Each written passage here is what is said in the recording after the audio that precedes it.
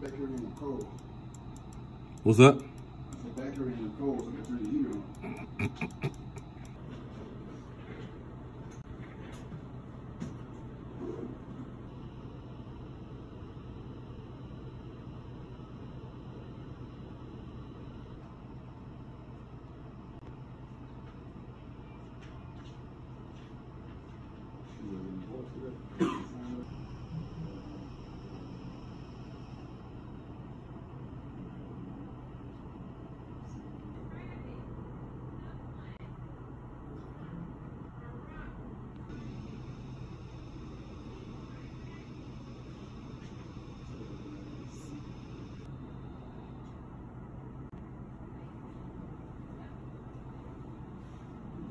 Miss Cobras?